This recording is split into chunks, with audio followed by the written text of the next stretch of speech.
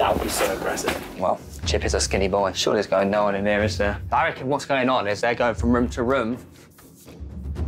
Hello there. Oh, Chippo, found you. Hello, Chippo. Okay. I've already checked in here. Yo, this place is lit, man. Uh, Chippo can fucking hide in any little tiny space. Chip! It's Theo! Let's go up another level.